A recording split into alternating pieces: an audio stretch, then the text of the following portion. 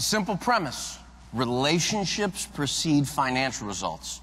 That's why a big part of their focus is putting their partners in a position to be successful, be remarkable consistently. And I, I want to give you an example of this happening. And I think there's a, a real relevant insight around this story. I, I mentioned I, I, live in Minneapolis, Minnesota, uh, but originally I'm from Cleveland, Ohio. And my mom still lives in Cleveland in the house we grew up in. She's a retired school teacher. So every year around the holidays, we all go back and we visit mom.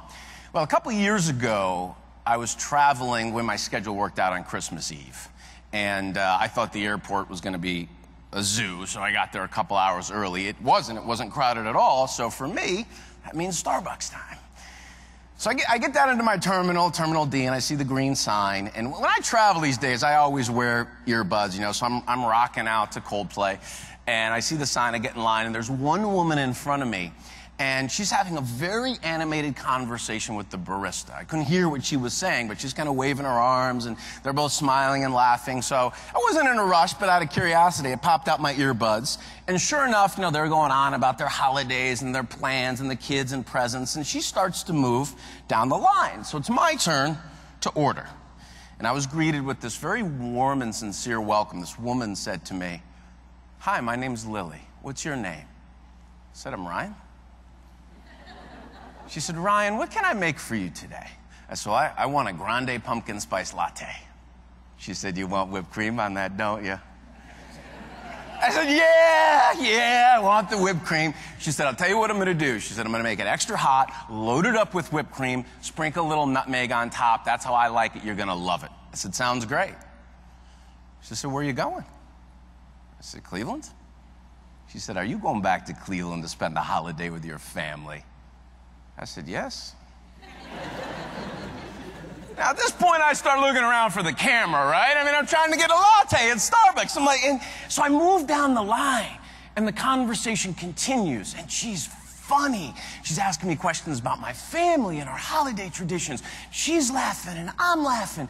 And she hands me my drink and says to me, Ryan, have a safe trip back to Cleveland. Go create some extraordinary memories with your family. When you come back through the Minneapolis airport, I want you to stop here and tell me all about it.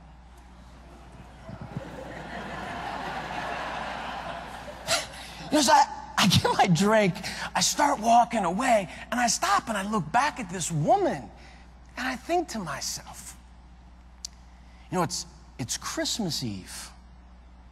Most people would rather be anywhere else in the world than serving coffee in an airport not her. It was like she was meant to be there. And I, I couldn't help myself. I had to go back. So I did. I walked back and I said, Excuse me, Lily. And you know, she jumps around. Ryan, is everything okay with the latte? Nice athletic stance, pumpkin whipped cream. I said, No. I said, The latte is perfect. I just had to come back and ask you, what, what is your secret to making such meaningful connections over serving coffee? Well, she, she corrected me. She's Ryan, Not serving coffee. I said, Okay, what are you doing? she had thought about this. She had thought about this. And what she told me was, I'm pouring happiness into people's lives. I said, You're pouring what? Like, what is pouring happiness? And I, I want to introduce you to her and her definition of pouring happiness. This is Lily Olson on Christmas Eve, a couple years ago. Lily is the shift supervisor in the Terminal D Starbucks in the Minneapolis International Airport. And this is her definition of pouring happiness. She wants to be happy in her life. She wants to be around happy people. She cares about her customers. She wants them to come back. So she chooses, even on Christmas Eve, to smile, to have fun, to help people, to just be happy. I said, Lily, you are awesome. You're an awesome brand ambassador for Starbucks. You want your customers to keep coming back to Starbucks. No, Ryan. No, Ryan. I said, okay, coffee Yoda, lesson number two, please. She says, no, I, I want my customers to come back to see me in Terminal D. And she, she gets to really important principles of meeting customers where they are in the new economy. And the first one is instead of just focusing on how to be successful, focus on how to be helpful. when you help customers get where they want to go today, they'll return that favor with loyalty. Optimized employees are more likely to be helpful. The other thing she understands and masters straight away is the very specific and intentional decision around how she chooses to show up, even on Christmas Eve. You know this. A lot of things happen in work and in our lives that are beyond our sphere of influence or control. She doesn't control the weather in Minneapolis. Trust me, I live there. She doesn't control what Caribou does in D8.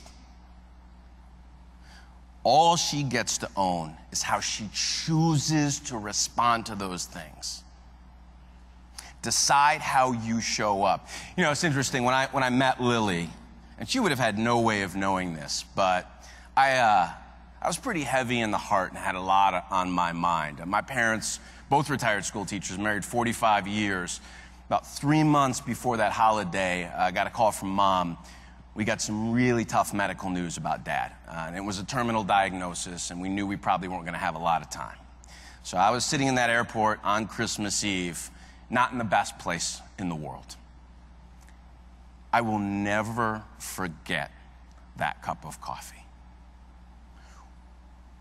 when you decide to show up consistently as the best version of who you are, it gives you your best opportunity to meet people where they are. And you never know when someone needs you to be your best.